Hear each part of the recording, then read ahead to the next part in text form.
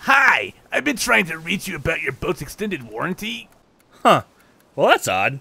I just had my warranty renewed by a jellyfish on the internet. Well, what I'm sure they didn't tell you is that if you sign up with me, I can help get your credit score up by and you can get connected for free. Actually, all they said was squids get skids or something. I don't really get it, but hey, y'all do you. I just told my lawyer to get the salt when they started getting personal.